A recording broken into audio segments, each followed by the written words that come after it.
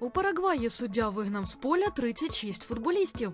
За 5 хвилин до кінця матчу в юніорській лізі головний арбітр показав червоні картки двом спортсменам за бійко.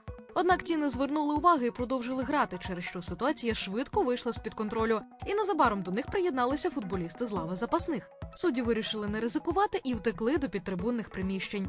У протоколі зустрічі рефері зробив запис про видалення всіх наявних гравців обох команд. Вони автоматично дискваліфіковані на наступний матч.